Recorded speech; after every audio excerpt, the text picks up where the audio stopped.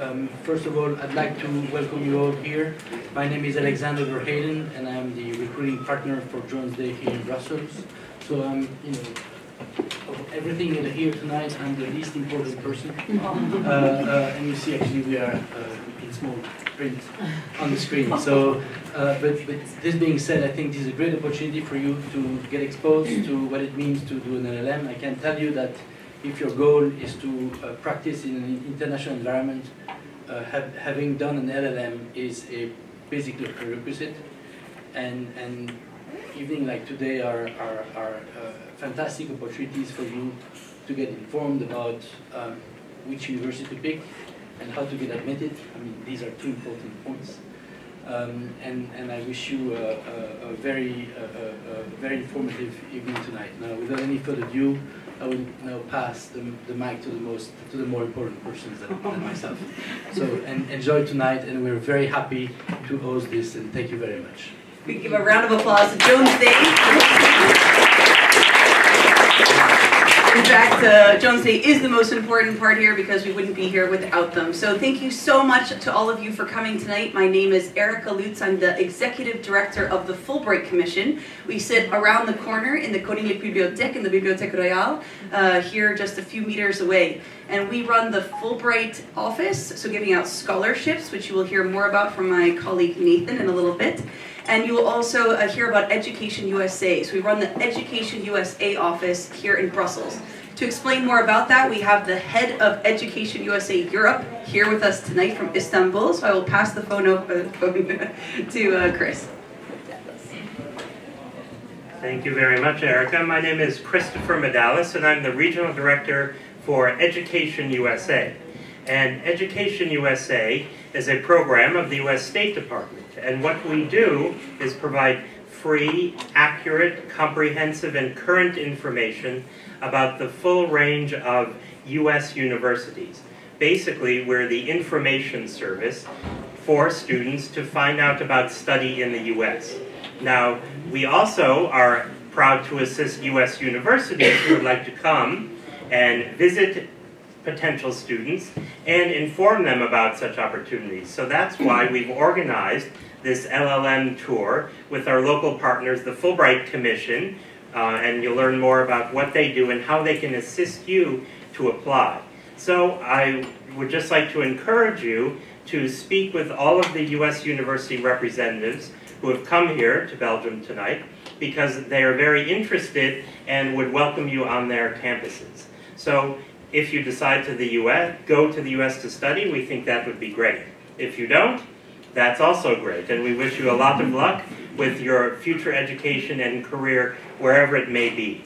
We're all global citizens at this point, and we all need to understand each other better and work with each other better. So we believe whatever kind of education and whatever kind of international experience you have is great. So good luck and all the best. Thank you. So we uh, just to explain our mission one more time, since I know it's very confusing when you see us on the website as Commission for Educational Exchange.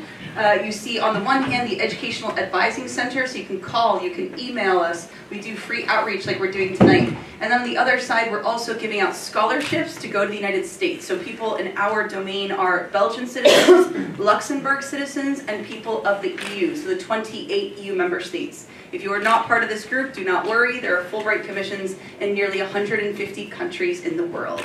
So this evening we have a fantastic lineup for you.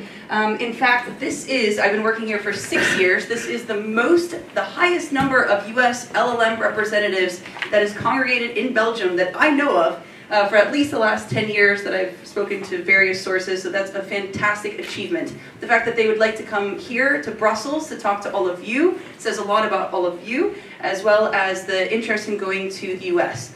Um, there's nearly 150 different LLM programs out there, and so we have chosen four different universities and different locations to talk to you about different parts of the process.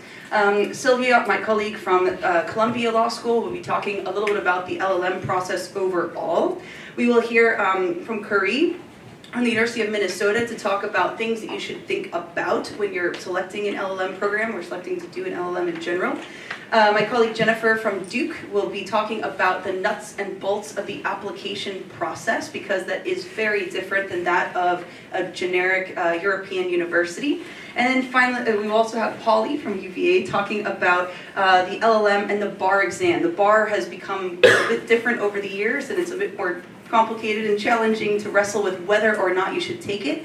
Um, and then finally, we have my colleague Nathan talking about some funding opportunities as well as some special partnerships that we have for law. Um, I, without further ado, would like to, they're all in a row, so this is perfect. I will pass the microphone to Sylvia. Thank you. Thank you. And, and I also want to thank um, all of you for coming tonight. Uh, thank the organizer and Jones Day for having us. Can we just get an idea of who's uh, in the room? Do, do I need this? Can you guys hear me without it? Yeah. Yes? Okay, good. Thank you. Um, who is in the process of applying to start the LLM in the fall of 2016? Hands up. Okay. Um, fall of 2017. Okay, and beyond just sort of starting your investigation, who's in that category? Good. Well, welcome um, to all of you. Speaking about the LLM program is one of the, my uh, favorite topics, so I'm uh, really thrilled to have been asked to, to do this tonight. Um, the fact that you're here says to, to all of us that you've already done some of the very basic research, so I don't think we have to start at, a, sort of the first step. Um, let me just start by saying that the LLM year is really a transformative year. It is a year that will change you professionally, it's a year that will change you academically and personally. The opportunity to step away from, know, there are people back there, I'm sorry I can't make eye contact with everybody. Um, the opportunity to step away from home and spend a year um, thinking about law in whatever way you want to think about law is wonderful.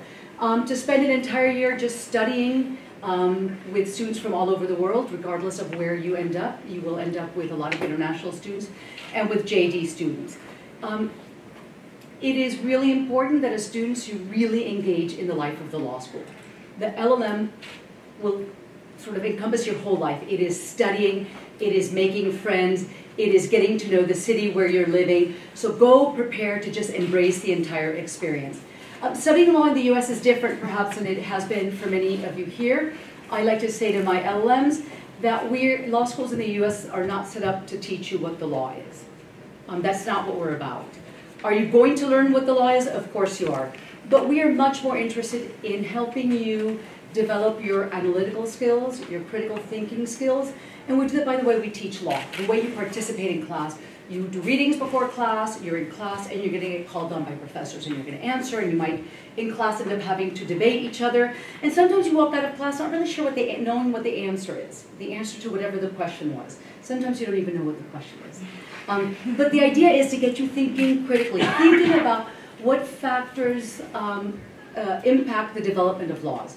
What historical factors, what cultural factors, what political factors, what factors in general. And how do you, as current or future lawyers, impact the development of law? And as you read cases is, why did this case, for example, end up in, in the court? What could the parties have done differently to avoid this? Or what should the law be to make sure that in the future these cases don't end up in court. And that's what you're going to be doing. Are you going to learn law along the way? Of course, you're going to learn law. Um, but you're not going to have classes where a professor sits there with an outline with the black letter law and say, okay, in order to have a contract, you have to have these four elements, and we're going to memorize that. Excuse me. So an important part of this is making sure that you're ready to go and engage in that learning process. Don't be a passive learner. Do your readings, participate in class, challenge yourself um, to be an active participant. Another big part of the LLM program is um, your network. You are going to make some lifelong friends. You're going to make a lot of really good friends. You're going to make lifelong business associates. Um, you may go 10 years without seeing your classmates, and all of a sudden you have a matter where you need somebody from Turkey, and you're going to remember that Turkish uh, classmate that you had, and you're going to connect, and it's going to be as if time had not passed. But an important part of that uh, network is also the JD students. Wherever you go, it's really important that you get to know the JD students after all, you're there in part to become more familiar with U.S. legal culture. So make sure that you get to know them. Get involved with student groups. There are some chairs up here if you'd like to come up here. Come on up, it's okay. Um, get involved with student groups. Every one of our universities has tens of student groups. Some of them might be um, organized by uh, subject area, maybe a group that studies constitutional law.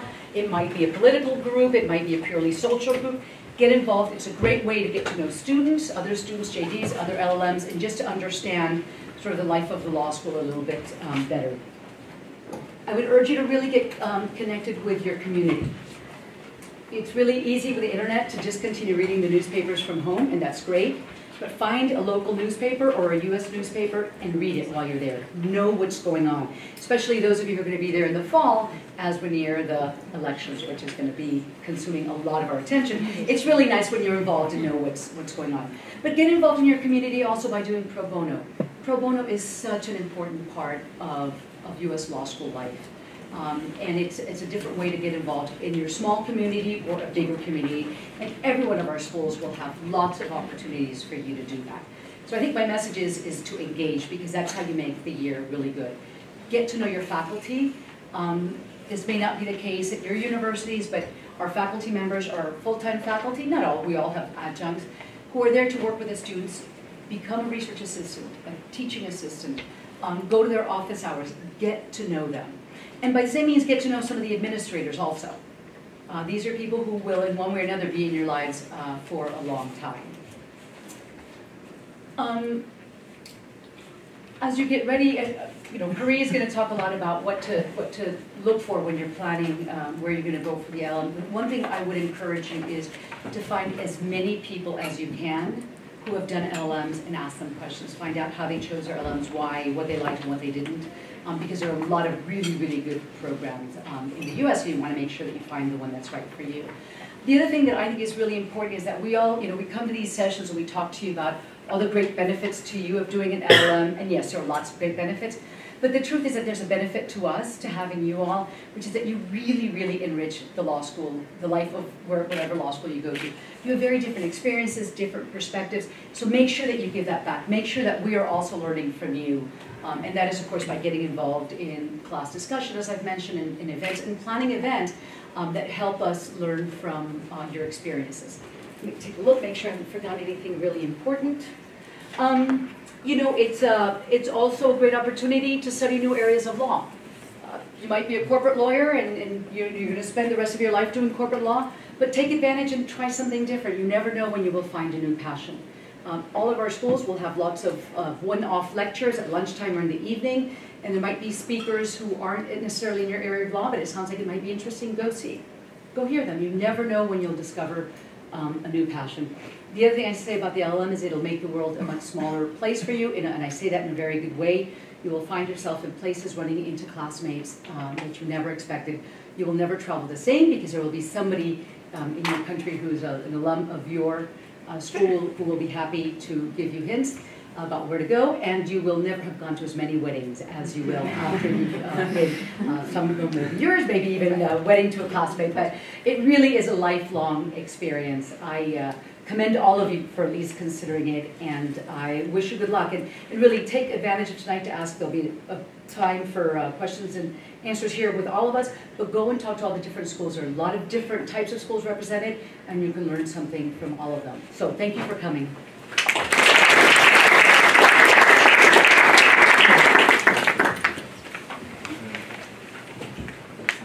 Good evening.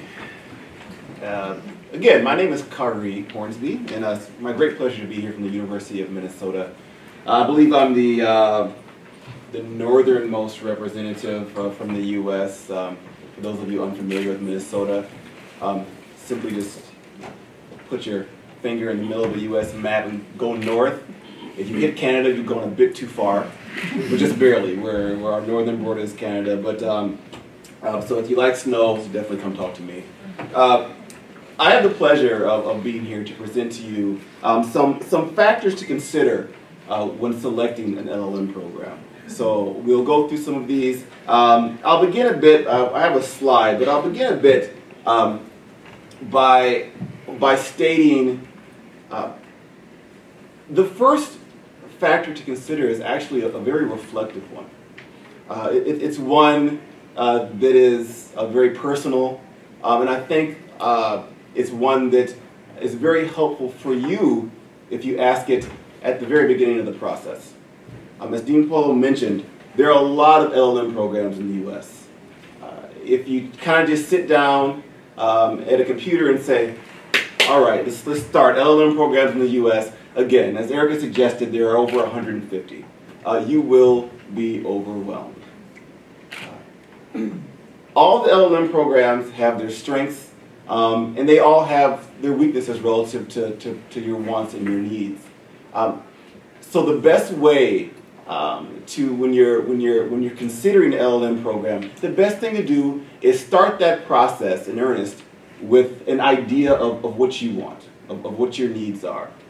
Um, and I've, I've, I've, a lot of times we notice applicants have this have this desire to come up with like the the, the, the perfect reason, right? As if we're looking for, for there, there, there's, a, there's a right answer to want to pursue an LLM program. We're going to, when we review your applications, um, I, won't, I won't touch application review much because my colleague from Duke is going to touch on that. But as if we're looking for the, your perfect motivation. And, and that's not the case. Um, we're looking for you. And the, the better you're aware of your own needs, your own desires, um, um, your aspirations, the better you can articulate that to yourself, the better you can to us, and that process can, can, be, can be much more efficient for you um, as, as you proceed. Um, some of the, the overarching themes we see in terms of students' motivations uh, for pursuing an LLM are um, about, you know, uh, uh, elevating your, your value to employers, right? It's, it's a career move. It's something to um, separate yourself from peers, from colleagues, from classmates. Um, it, it, it's obviously a very valuable degree, and for some, for some countries even, you need to have an LLM to reach certain uh, professional, uh, reach a certain professional status for example, a judge, etc. Um, to deepen your specialty in a certain field, um, that's a very common uh, motivation. Or, as opposed to that, to switch fields. Perhaps uh, you want to change the trajectory of your career. And uh, as opposed to simply telling an employer, well, I'm very interested in this, um, you can present a, uh, a degree and say, not only am I interested in it, but I've invested time um, to, to, to, to, to uh, become an expert or begin a mastery uh, in this area. Uh, it was suggested networking. Um, this may not be um, a motivation that perhaps is uh, in, in, in, your up, the upper tier of your priorities right now, but we find oftentimes when speaking to our alumni that that is actually the thing they, they, they value, they come to value the most. Um, I, to your point, I was speaking to an uh, alum in Amsterdam, and he said, uh, yesterday actually, and he said that um, his favorite part of his LLM experience is that he can travel around the world and never have to buy a hotel room. Um, he just, you know, knocks, you know, lets class, former classmates know he's on his way, and they give him a couch or a bed.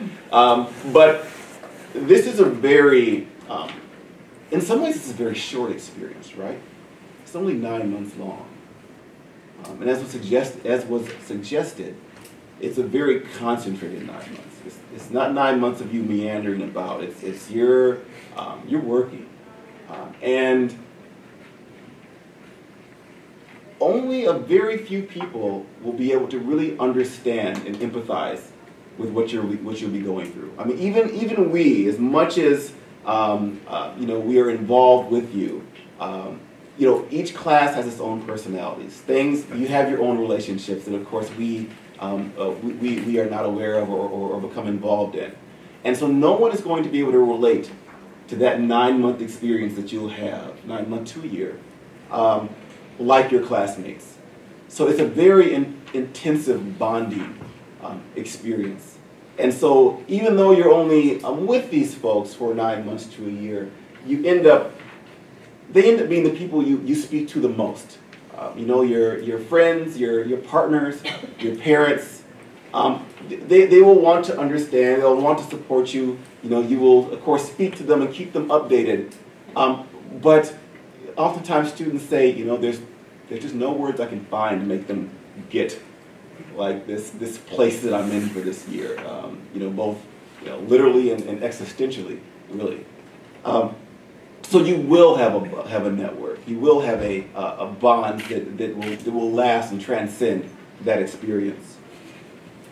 Um, firsthand exposure to, to U.S. law, to common law, but in addition to that, a, a deeper understanding of your own law.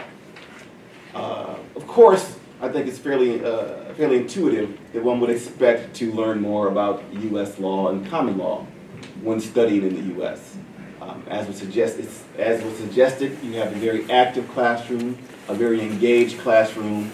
Um, you'll be asked questions, and most of the answers will be, it depends. right? So you're going to get a lot of questions and not necessarily leave with answers, but hopefully leave with a set of skills that will allow you to better evaluate questions. Uh, because the law represents our world. It's dynamic. Uh, and it changes. Uh, and uh, therefore, uh, a fixed way of thinking and approaching the law um, really limits one. And so, but I think perhaps counterintuitive, counterintuitively is the fact that you come away with a deeper understanding of your own law. Um, it's just like anything in life, right? If you're, if you're in a situation where you, it's just, this is the way it's been. You were raised here. You were um, raised with certain cultural norms, um, certain legal norms, things that you just, um, you learned about and you questioned, but even the, even the spectrum along which, you know, uh, liberalism and conservatism lies in certain areas is still uniquely cultural, right? What's a, what's a, you know, a, a liberal way of thinking in, in, in, the U.S. is, in some European countries, very, uh, very middle of the road. So it really depends upon the context which you're approaching something as to how nuanced your, your thinking is. Um, and so when you come and you have this experience um, and you're engaging in a different legal system, uh, oftentimes it makes you think, huh, it makes you reevaluate those presumptions you may have had about your own legal system that you never questioned because you always interacted with your own legal system. Um, so even if you, you know, leave the, the states and you never represent a U.S. client or you uh, never have the opportunity to work for a, a U.S. work in the U.S. or work for a U.S.-based employer, that thinking, that, that experience uh, will still go a long way uh, to, to assist you in your, in your domestic practice. Uh, the bar exam is, is, is another reason. Um, as, as most of you, I'm sure, know, um, uh, the qualification to become a lawyer is controlled in each, individually in each of our 50 states. Uh, and so um, I think currently there are 30 plus states that allow LLM holders, um, um, US LLM holders with a degree from a, from a foreign country to sit and qualify for the bar under certain circumstances. Each state differs a bit, but the, the, the more, the, the, more popular states are uh, probably New York, California, and I believe uh, DC and, and, and, and, Texas are gaining in popularity, but uh, that's, that's anecdotal. Um, but uh, definitely New York and, and, and California. So that, that qualification is, is, a very efficient use of a year. Uh, you know, you start your, you start your courses, uh, you complete your degree within nine or 10 months, uh, and then you, uh, it's, you're, it's potentially you can sit for a bar and a bar exam in late July, and then you would go home within, at, after that point. So it's possible in a calendar year for you to earn a degree and um, you won't have your results from the bar exam back yet, but to at least have taken the bar exam. So for some folks, it's, it's an incredibly efficient use of a year, um, especially um, um, in, in, professional, for professional considerations. And last but not least, when you're considering factors, one we hear is a very honest one, and that's that it's my last chance, right? The, the, the, the real world is coming, you know, you'll begin your legal practice, you'll, um, you'll start your career, and the opportunity to leave the country you know, for, you know, for, for longer than a vacation, um, and really have an in-depth experience in another culture you know, that it, it, tends to become more and more rare as time progresses, as responsibilities in, increase. And so a lot of times students say, hey, you know, I'm, of course I'm interested in the, in the degree, um, um, interested in gaining the, the specializations, but really I just, I really, for cultural purposes and to increase my own, you know, global perspective, I just want, I just want to leave. I want, I want to study in another country. That's valid too. That's valid too. Uh, one thing, um, and, and, and, and I'll, I'll adhere a bit more to my, to my slide here uh, at this point. Um, this all goes to the point of right doing your homework and doing your homework starting with, with again that, that reflective piece of it. In terms of program focus, uh, you know, once you answer that question, that's when you'll be able, that's when that list of 150 programs will really shrink. You know, if you're adamant about studying tax law and you want a school that has a, a, you know, a renowned tax law program, you know, that 150, you know, LLM program list is going to shrink drastically. Human rights, you know, uh, uh, certain different, certain legal practices, etc. So that's why it's so important to really know what you want. Um, in terms of program focus, understand the difference between a theoretical classroom focus versus a practical focus. Um, many, many schools offer, you know, most schools have a, a vast array of classes. Uh, you know, the, you know, if you're interested in human rights, um, I'm, I'm, you'll prob probably be able to take a series of human rights courses at the vast majority of law schools around the U.S. However, if you want to be in a human rights environment or have a, a, a, be at a school that has you know, very practical opportunities to work with uh, human rights organizations, NGOs, etc., well, then that's going to change your calculation. It's, it's, you can hire a human rights professor, you cannot um, put yourself in a community uh, that, that's active with NGOs and human rights organizations. So understand when you're evaluating programs, it, that may not matter for you. That may not matter. But again, it's a question. It's, it's a factor in considering uh, programs. Uh, the uh, certain other you know fields, business, etc., are very network-based. Entertainment law. We've heard you know had a series of conversations with students uh, um, um, in previous cities about art law and things such as that. These are these are practice areas where um, it's great to be have firm a firm theoretical base, but in business law, no one's going to pay you to think about business. They want answers, preferably yesterday. Uh, and and not you know if, you if you if you tell the client in business law perspective, well, it depends. They're, you're not going to get a great reaction from the client. They want answers, and so um, bridging that gap between theory and practice for certain areas is going to be very important to you. You want to make sure that um, if, if, that's, if that is important, that you're at a school that can support that. Um, career advising, student services.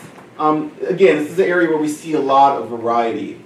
Um, there are many approaches to student services, career services. Some law schools have a dedicated career um, services person who works or, or people who work with LLM students specifically. Some you will share, um, the, the, the, the, Career Center will share uh, responsibility for JDs and LLM students. Some, it'll just be one person who might be a, the, the, he or she might run a one-person LLM office, and that person just wears multiple hats. Um, there's not necessarily a right or wrong way just be, just ensure that you're prepared and you're aware of the way that the school approaches that. Because again, um, regardless of your reasons for uh, pursuing the LLM, um, you want to make sure that you're, you're receiving advising, counseling, support. Support is key. Uh, you know, in, in many ways, um, and I think we all share this, um, some, you know, we, we are again, we sit on admission committees, we make scholarship decisions, but we are also sometimes your friends, your, your, your, your, your confidants. There are things that are going on in your life in this new country where it just helps to have someone to sit down with and say, look, this is what I'm going through, this is what I'm experiencing. Is this normal? Um, you know, should I be you know, doing something else, thinking about something else? And sometimes they're tied to, to, to coursework. Sometimes they're completely detached from coursework. Um, but you want to feel like you have that support uh, um, wherever you go. Uh, student experience, class size, class interactions. Um, Dean Polo spoke a little bit to um, the, you know, going to office hours, engaging with, the, with, with your classmates, engaging with professors. At some schools, that's a heck of a lot easier than others. Uh, be aware of that. Uh, if you, if, if, if, if some schools, you, you have these profiles of these wonderful, wonderful faculty who are doing these, this magnificent research, groundbreaking things, you'll never see them. That's just a fact. Some schools, you will never see that person. You will never sit in their class. Speak to students, speak to alums. Understand that. That's not a problem necessarily. There are, like I said, every school has redeeming factors. However, if you're going to that school expecting to study with Professor X or Y, and he or she does not allow LLMs in their class, that's something you need to know now, not when you arrive at the school's doorstep. And that has a lot to do with that engagement portion of that. Uh, and then, and then setting. Uh, you know, you, uh, there's a variety of settings in the U.S. Urban, rural, college, college towns, if, if you will. Um, if you're looking to have a certain experience in the U.S., you know, again, be sure that, uh, that you consider those factors. It may not seem like a big deal, um, but some of you, uh, again, culturally speaking, you may just be a city person. That's fine. Uh, you may want a more intimate environment outside of the law school. You may want access to a city but not be in the middle of a city. Um, those are all things that are valid, and again, uh, the the more comfortable you are with your with your LLM choice, the more likely you are to have a successful experience, to be focused, um, and to and to leave with the type of experience that you uh, you intended upon your arrival. I think I spoke long enough. I don't want to put anybody to sleep here, so um, uh, I will pass things along to. Uh, Do you think this works? Well, I'm going to stand so I can see all of you. I'm not that tall when I'm sitting. I'm Jennifer Maher. I'm from Duke University School of Law. Duke, uh, Khary remi reminds me, we need to tell you about this huge country of ours and where we're coming from. So Duke is in the southern state of North Carolina, oddly enough, but there's also a South Carolina, so that's why it's north. It's on the east coast. It is in a city that is vibrant, that is uh, full of really interesting artistic and entrepreneurial people because it surrounds the research headquarters of a lot of great corporations. And it, if you like sunshine, long falls, long springs, uh, being outside in the winter, then Duke might be the right place for you. Uh, I'm going to try to use my slides, and I think I was billed a little bit as, as the technical uh, guru here, but I'm not going to be technical because actually you're going to have to do the work yourself to figure out what each school wants. How many of you have taken legal writing in law school? Okay, some in the back. This is a course that is uh, required by the New York Bar and taught at most of our LLM programs, and it's in fact a course that I taught for many years. So my biggest goal in teaching it was to try to get students to think about one main thing, to know their audience and think about how to convey to their audience the information the audience needed to know. So it's usually your client. Who's your client when you're applying to law school? It's us, the admissions officers. So what do we need to know about you? That's why I said get inside the mind of. We get more applications than we can accept at our programs. We cannot take everybody, we have to limit the class. Meanwhile, you all will probably be using the Law School Admission Council application method. Are you familiar with LSAC? So for those of you who are not, go online, lsac.org.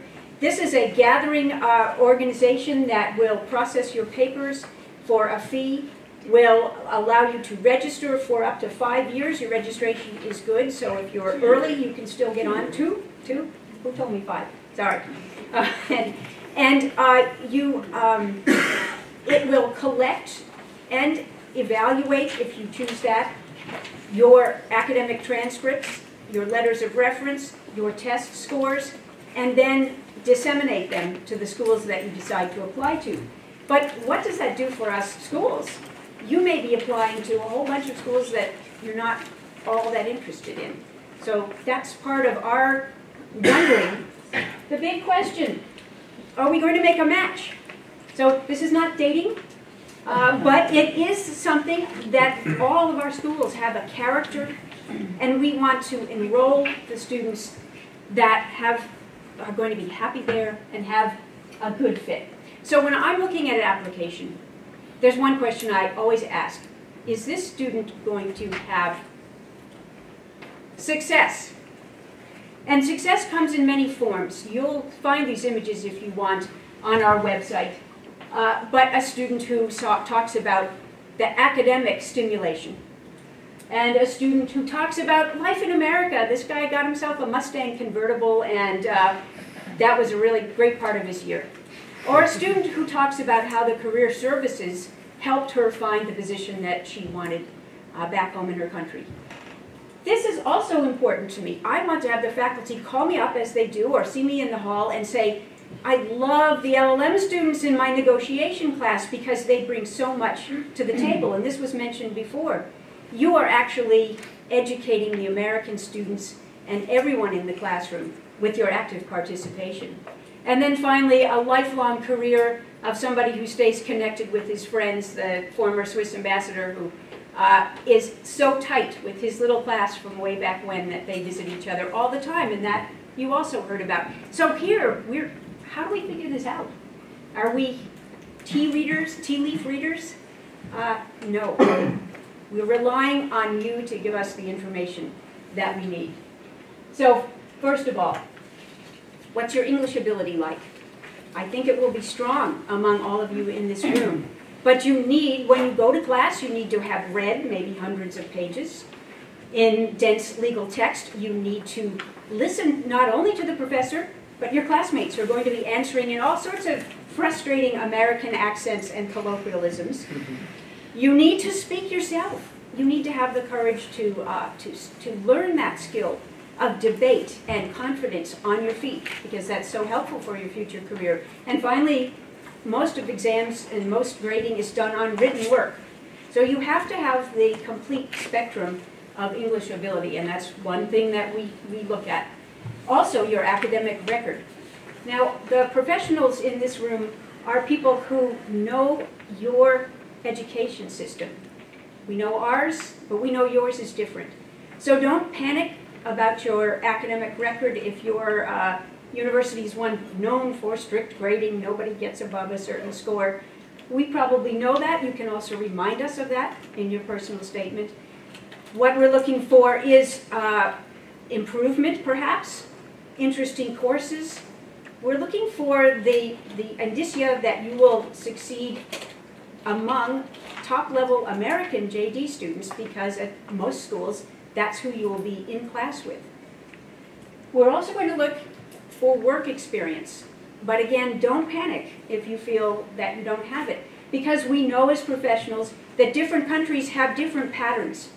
So in some countries, young lawyers come after five or so years to, to do an LLM supported by their law firm. In other countries, young students who've just finished come to do the LLM before, before they get their first job. But if you've had any sort of internship experience, it's really helpful to know about that. And I would urge you, if you have that opportunity, to take advantage of it, because there you'll start to figure out, wait a minute, what, why am I learning these things about law? It's because they really matter in a practical scope. And that makes you a better student in the kinds of classrooms that we have in the United States. Uh?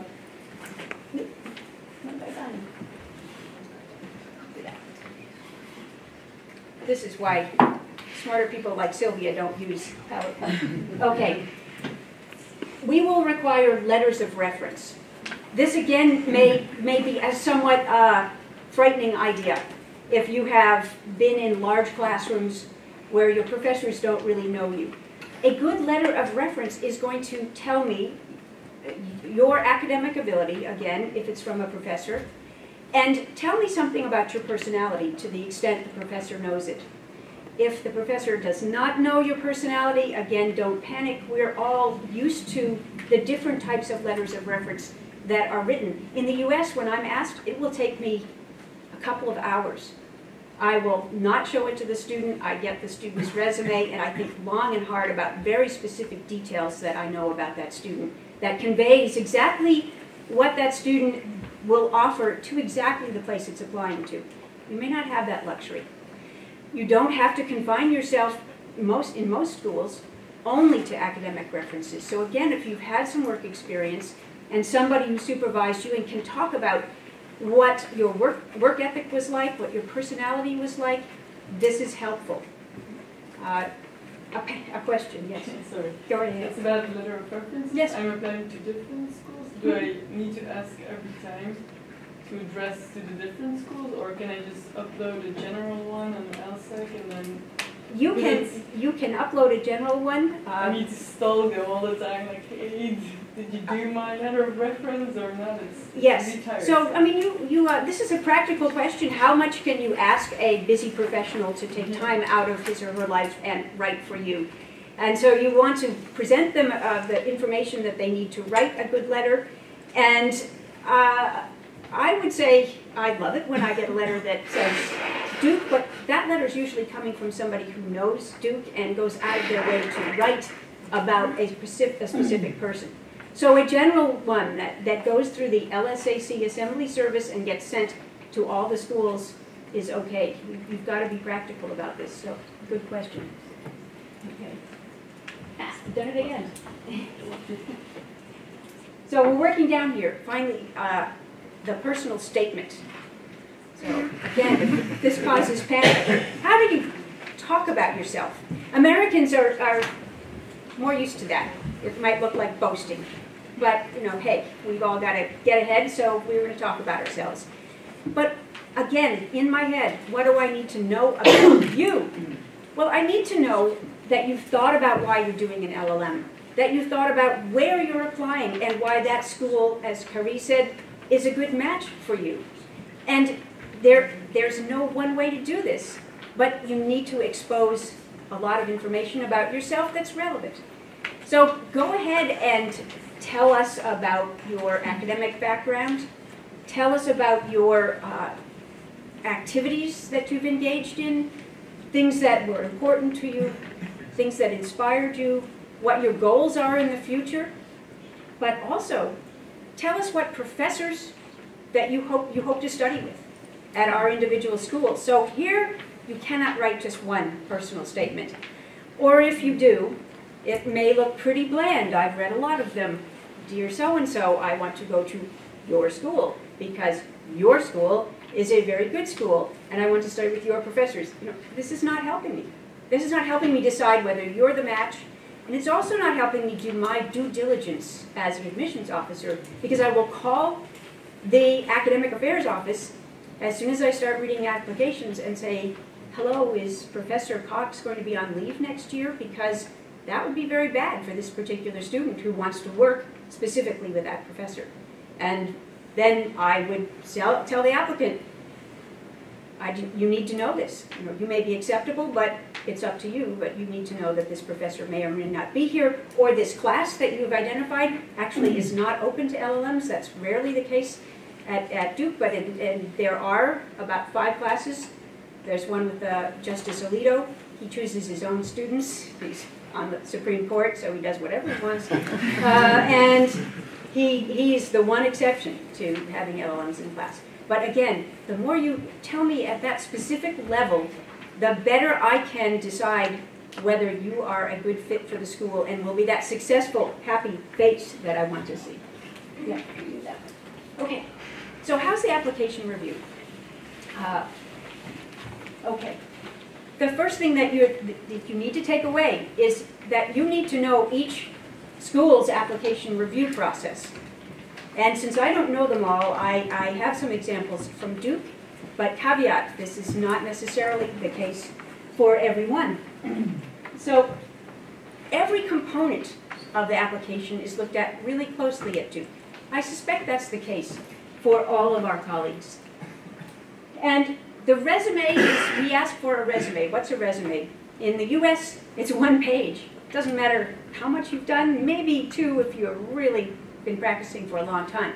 Why? This is just a really quick reference. It's very helpful. Don't get hung up on the format if you are unfamiliar with that kind of resume, but if you can produce one, that's helpful to just get a, a first look at who is this student, where have they studied, what have they done.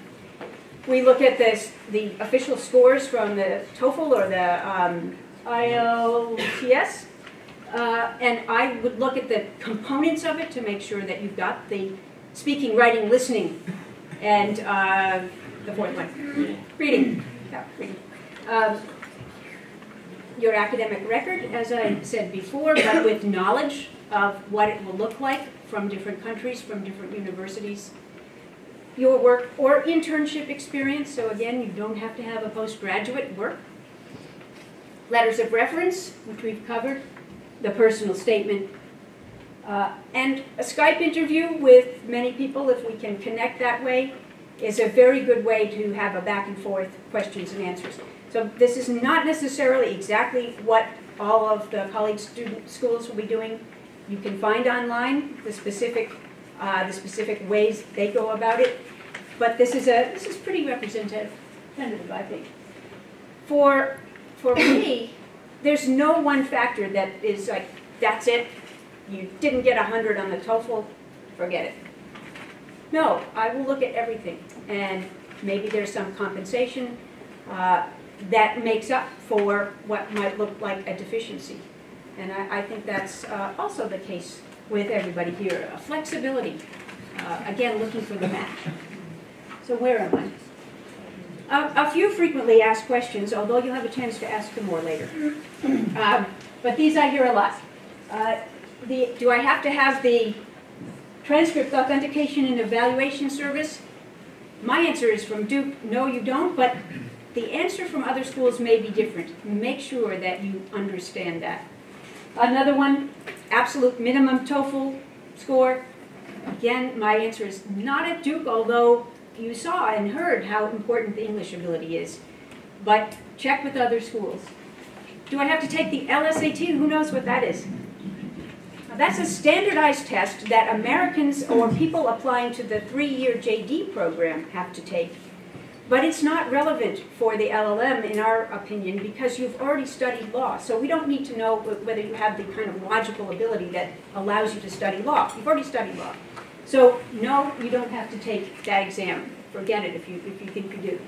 Um, some people have submitted grades from U.S. exchange programs that they've been on or summer institutes. Those are helpful, especially if, if they're graded and evaluated in the same way as the American students, that gives me a really good heads up on what you're going to be like as a student with American students and in the Duke LLM. And a few more before I run out of time. What if I don't have any extracurricular activities? You know, Americans are all about sports and all of these things. Hey, you all have extracurricular activities. I know you do. Uh, so you will have something relevant to tell me.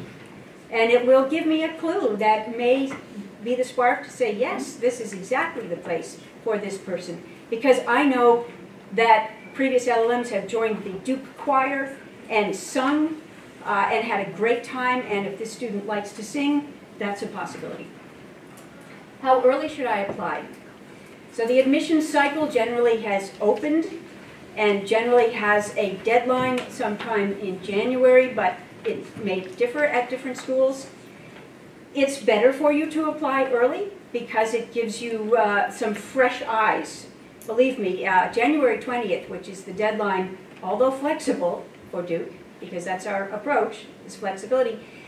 January 20th, my eyes are a little tired from reading applications. Uh, so you do have a bit of an advantage to get in front of the admissions officers early, and you may inquire. Some schools have early admissions or rolling admissions where they will actually give you an answer early, which is a very nice thing to have. Um, so as early as you're able. Is there a format for the personal statement? So I hear, no, please show me the example of the perfect personal statement. Ah, imagine how bored we'd be if we had to read the same perfect personal statement. So don't worry about the format, but worry about the content revealing who you are and revealing why this particular law school is one that is of interest of you, to you. Uh, and I can tell you another funny story about that. Don't think that you can just go through and change the name of the school. Or if you do, be very careful that you actually do change the name of the school through the entire document. We have somebody in our class who failed to do that, but my Skype, I said, you know, I have one more question for you. And she turned bright red, and I said, you know, you realize what the last sentence of your personal statement said, which was why I want to go to name of other school. And uh, she's, she said to, everything's fine. She will be a great lawyer because she'll always review a document really closely from now on. So, so again, take some time with that. No format, but insights, very important. Anything else? We're going to have questions at the end. So good luck, uh, especially to those of you who are applying this year and those of you who are applying in the future. Do your research and write a great application so we're all really excited about accepting you. Thanks.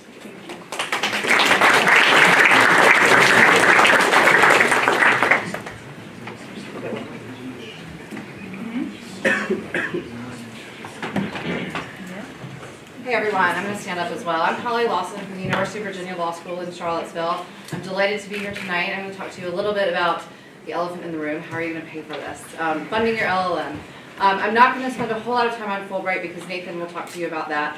Um, but I want to um, just kind of go over a sense, and then I'll talk in a minute about the bar exam and sort of some things to think about um, as you're thinking about your LLM um, and whether or not you want to take the bar, whether it makes sense for your career.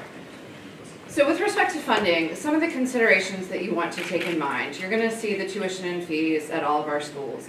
Don't see that number and just think, oh my gosh, there's no way I could ever afford it, because you, it, you can't afford it, and I'm going to tell you how.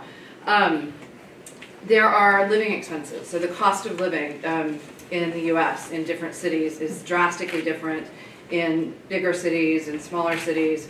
So take that into account. All of the law schools publish a um, living expense uh, budget for the year, so you can kind of have a sense of, okay, it's going to cost me this much money if I stay in this city, but if I go to this city, it's going to be another $10,000 more because it's much more expensive to live there. So think about um, how much it's actually going to cost for you to live. And the, the, the, living expenses budget is broken down into housing. So are you going to live on campus? Can you live off campus for um, inexpensive, or is it more expensive to live off campus than on? Um, transportation, do you have to have a car? Can you ride the buses for free? Um, do you have to pay for public transportation? So factor that into your budget as well.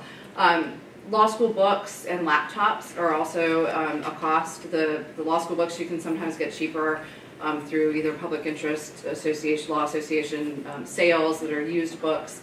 Um, but they are expensive and most schools publish a realistic budget for what you should account for um, over the course of the year.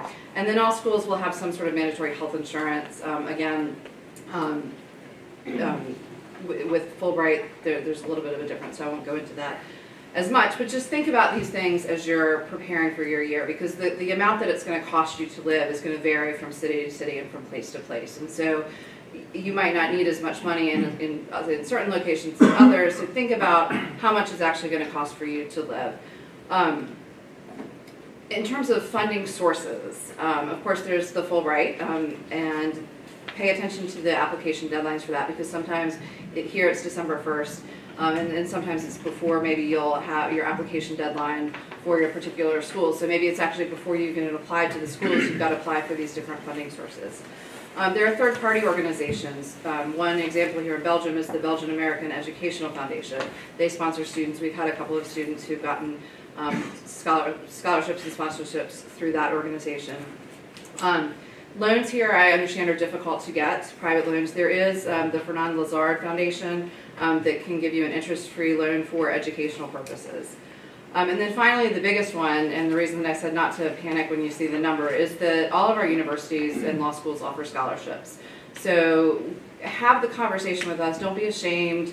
You know, if you if you you feel like you can't afford it or you you don't have the money, talk to us. We're here to help you, and and we are your partners in this, and we're trying to to make it work for you. So we we want to know. Okay, you've applied for these different fundings, and you need you realistically need this much money to come here. Okay, that helps us to be able to say, okay, we have X amount of money in our budget, so we're going to allocate our resources to the most students in the best way that we can help the most students to be able to study at our university. So don't be ashamed to ask. Don't be ashamed to have that conversation because we expect it and we want to help you and that's what we're all here to do, to help you.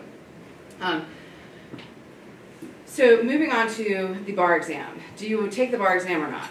Um, and that's a question that I think we need to give a lot of thought before you start your LLM program. Um, as Khary mentioned, there is no national license to practice in the U.S. It's a state-by-state um, determination. Most foreign-trained lawyers take the New York Bar, so I'm going to spend most of my time talking about the New York Bar. Um, they have, uh, in recent years, put in some some requirements um, that for courses that you have to take if you're a foreign-educated lawyer. Um, at UVA, what we did was we we um, anytime we have a new course offering, we will run it by the Court of Appeals. I think a lot of schools do this so that we can tell you, we, we, we ask you early on, are you planning to take the New York Bar or do you want to take the courses to qualify you to take the New York Bar? And you say yes. So we say, okay, you're going to have to take these certain courses. You can take them first semester or second semester, but you've got to take them at some point in your over the course of your career. So think about these things as if you're kind of planning your academics. So we work very closely with you. I have students who um, will decide no, they don't want to take the bar, and then they think, have you know, before spring course enrollment, they well, maybe I should take, you know, maybe I should, maybe I should take, you know, these two courses that I need to, to, to sit for the bar. So we um, can also have that that conversation with you as well. Um, but ask, you know, ask your employers, ask, ask other alums, ask, you know, use the resources. Um, ask us to put you in touch with alums. You know, some employers think it's very important to take the, the bar, but I think more do not. And so it, it, it, it, adds a different credential and it adds, you know, it's certainly a, a um, credential worth pursuing, but it might not be necessary for all employers. And for certainly for those of you who might practice in the U.S. during OPT um, right after your graduation, you might not need the bar. They might rather you prefer, they, the law firms might prefer that you work over the course of the summer as opposed to study for the bar because they're not interested in the long-term um, you're not going to be sort of the, the, the New York expert um, in their in their law firm. So it varies by employer, and I would say talk to as many people as you can, and certainly talk to us um, if you have questions about that. I have actually a Belgian student who was deciding whether or not to take the bar. He's focusing on antitrust, and he decided that he would actually be more marketable if he didn't take the bar because he could focus completely, take all of his courses in antitrust and um, competition law. And so that's just an example of how you can, you know, you can create your courses whether or not you want to take the, the bar um, and, and really design your own academics as, as how you, what works best for you personally and professionally. Um, so with that, um, I will turn it over to you. Thank you all so much for having me, and I look forward to meeting you later.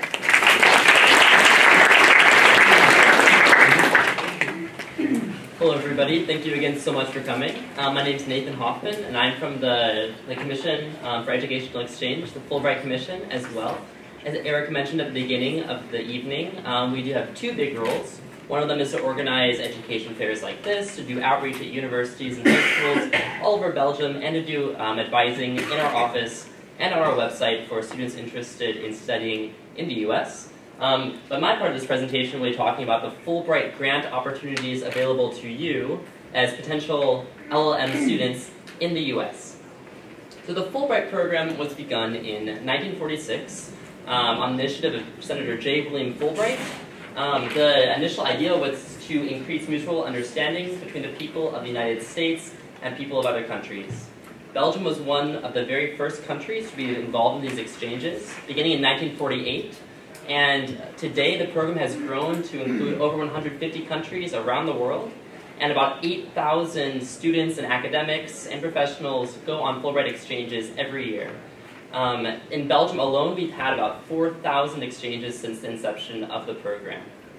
You might be wondering who can apply. Well, obviously students to LLM programs, of course, but we have categories as well for researchers, for lecturers, for journalists, language teaching assistants of Dutch and French, as well as secondary school teachers of English. Of course, today I'll be focusing on the student awards. For the student application, it is a little bit involved. We definitely recommend starting as far in advance as possible. Right now, we're about one month before our deadline, so if you have not started and you want to go and do an LM in the US next fall, and are interested in Fulbright, definitely start on that application as soon as possible. It's about 12 pages online. Um, it's all completely done online. You can access it through our website. You should not mail us or email us anything. But to this website, you'll upload a resume. We say Americanized, so make sure that you do look up some formats of an American resume. It should be about one page. Um, you should have your transcripts from your most recent degree, so as recently um, as possible, up to the deadline, here are the grades that you've gotten at that point in the degree you're working on or in the degree you just finished. Um, we also need, uh, well, you can, if you'd like, upload test scores. It's not required. If you have not taken your test before the Fulbright deadline, um, it's okay. If you have taken them, you can tell us what scores you got on those tests. Then we need two essays, a study and research objectives essay where you talk about why you want to do this degree, what experiences you, you have that have particularly prepared you for the specific degree you'd like to pursue, as well as a personal statement where you talk about your personal development, what's inspired this passion, a formative moment in your life perhaps that is now driving you towards um, going to the US or to a particular career, career field um, or academic field. And that is very similar to the kind of personal statement you would write for any of these law schools. And you also need three recommendation letters from current or former professors as well as professional supervisors. Um, the advice um, given, given by my, my colleague here um, definitely applies in this situation as well. Make sure they know you well, give them your CV, ask them far in advance, um, and follow up with them to make sure they've uploaded the recommendations to the, to the Fulbright application. And then finally, uh, university acceptance letter. So this is the one component we do not need by that December 1st deadline. We understand that you will likely not have applied and definitely won't have received a response from um, almost any law school in the US by December 1st. That's completely okay. Your Fulbright application is judged on the components above this bottom bullet point here. Um, it's, it's, based on your past experiences and on the quality of your, of your personal statements. Um, and not on which programs you're applying for or which programs you've been accepted to. As long as you're accepted to some accredited university program in the US, you will receive that grant money if you're accepted for the Fulbright grant. Um, so you can send that letter to us in May, March or April or May, whenever you receive it, and decide on which program you'd like to pursue. So the benefits of, the, of Fulbright include uh, a grant, of course, the money, up to $30,000. The average for students is about 15000 so it can be sometimes $20,000 as well. Sickness and accident insurance is also included. Uh, we sponsor your visa as a J1 visa. You can get discounts on Brussels Airlines tickets, um, we also have in-country programming, and this in-country programming is um, some of the most exciting part of the Fulbright program for grantees. Um, when you get to the U.S., you're oftentimes invited to a gateway orientation. We spend about a week with Fulbright grantees from around the world. You learn about life in the U.S. Um, you do some team building activities. Uh, you, it sounds like people had a lot of fun on this. It's a fully funded week or so of activities um, at a university in the U.S., usually different from the one where you'll be studying. And you may also be invited for an enrichment seminar sometime during the year. Similar format, about a week long with Fulbright, grantees from around the world, but focused on a particular topic. And then finally, after your Fulbright grant period, you have access to the prestigious title, which is internationally renowned um, for being one of the one of the premier exchange programs in the world. So it definitely look good, looks good on a resume for employers. And the alumni network, here in Belgium, the Alumni Network is, is pretty active. We have events about once a month, and it's a great way of meeting people, both within your professional field, as well as outside of it, people who've had similar experiences to you. To be eligible for our Fulbright grants, you should have Belgian or Luxembourgish citizenship. As Erica mentioned at the beginning, if you're a citizen of a different country, you likely have a Fulbright program available in your country. It's in over 150 countries around the world. You'll just apply through their office. We'll have some different requirements from us. Um, uh, but if you're a Belgian or Luxembourgish citizen, it will go through our office. Uh, we expect English proficiency, not based on a test score, but just based on your application materials and the English you present in those, as well as in an interview if you are invited for one. Um, you should have a minimum of a bachelor's degree. Most of our applicants do at least have a master's degree, but if you have a bachelor's, you are eligible. academic excellence is usually expected, um, either a distinction every year or a grand distinction in the last year of study.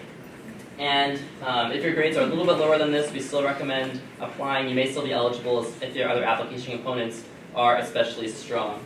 And then finally, that admissions letter to the U.S. program at some point. Um, a few conditions. You can't have had a J-1 visa um, in the past couple of years in the student or scholar, category. The selection panel also looks for ambassadorial qualities, a willingness to engage with the community in the U.S. during your time there, not just focus on the academic program, but get involved in the community, student life, and the American, uh, American experience. And then when you come back to Belgium or to your home country, to um, engage with the community there and share your experiences and um, help improve the community here.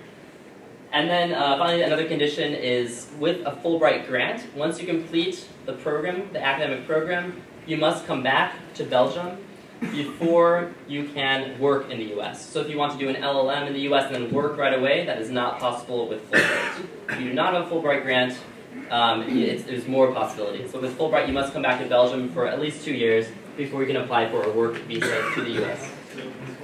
So as I said, the deadline is December 1st. Uh, January 26th is our interview date. If you're invited for an interview and you're applying to do an LLM program, your interview will be on January 26th in the Royal Library, very close to here. And we'll notify you of acceptance um, in February or possibly early March. Um, I'd like to mention our law firm partners that uh, provide special, special grants. Uh, most of our funding comes from the Belgian and American governments, but we do receive some funding from these law firms here to fund LLM experiences in the US. And then we also have partnerships with a number of US law schools. Um, although Fulbright grants are eligible for any of the over 150 LLM programs in the US, you may apply to any of them. Many of these law schools have agreed to match Fulbright grants by giving you additional money on top of the Fulbright grant. And here's a list of those that have told us specifically that if you receive a grant from Fulbright, they will give you this additional scholarship automatically. Um, many that are not listed here will also give you scholarships, um, though they have not given us a precise number. Uh, just know that if you apply to any of these, you will get this automatic um, addition. If you apply to other law schools, they may also give you additional scholarships if you're a Fulbright grantee. Um, this is just a really quick preview as I wrap up of the application. As I said, it's all online. This is what it looks like. Um, definitely recommend going to our website, fulbright.be, which I'll post in just a moment, because we have blog posts from current grantees and past grantees, and we have all the possible information you would need for the application, describing it in great detail. We also have a YouTube channel with over 700 videos from past grantees, um, as well as admissions officers talking about what they look for in applicants. Um, here is just a preview of some of the other Fulbright offices in Europe. Um, and there's many others around the world. I recommend just Googling Fulbright and your country of citizenship if you are a citizen of a country besides Belgium or Luxembourg. And then finally, our website at the bottom here, fulbright.be. If you have any questions about, um, about Fulbright and applying, and you're applying to be a, a, student in the U.S., you can email me at students at fulbright.be, and I'm happy to respond to any of your questions then. But I think we have some time, I hope, for a few questions before we move on to the fair part of the evening. And so if anyone has questions for any of us, now's the time to ask them. And we'll keep the questions generic, so if it's about a particular situation, then you can ask, of course, the representatives uh, at their table booths uh, in a few minutes. But if there's some generic questions that you would like answered, then we'll go ahead uh, and do that right now. Does anyone have any questions? I know it's always difficult to ask the first, so. Uh, can you reapply for Fulbright? Reapply? Yes, yes. You can you can apply again the next year if you're not if you're not accepted one year. Yes. I have a question about the conditions to apply for Fulbright. Okay. Um, the condition of not having uh, a J1 visa increased to does it apply if we went on an exchange student? It only if it's in the student or scholar category. So you should look on your J1 visa and see what words are on it. Yeah. Okay. For that, if it was an internship or a short-term exchange program, then you are still eligible. Other questions for perhaps the uh, folks? Uh, yeah. um, I was wondering if any universities in the LM program uh, offer a resident fee, or is it just the JD programs? A resident fee meaning um, like a discount if you're a resident Yeah. of the state, do you mean? Uh, like in-state tuition. We have, so uh, we're, University of Virginia is a state school, um, so we do have a different tuition rate for residents of Virginia, um, which is about three thousand dollars less than what out-of-state tuition is. Khary, do you? It's the same, it's the same Yeah. for University of Minnesota. Um, so, so I was, I think really it's only, you have to be a resident of that particular state. And there, um, at least at our school, there's a university office that handles and determines who qualifies as a resident. So, um, that's probably true at any state school. So that's illustrating one difference between universities in the United States. There are public ones that are supported by the individual states in which they're located, and then there are private ones like Columbia and Duke, which are not supported by the state in which we're located. The thing that to know is that in the Uni- United States, both these categories are great universities. So there's not like public university and then there are the private ones because you couldn't get into public. No, that's not the way it works in the United States.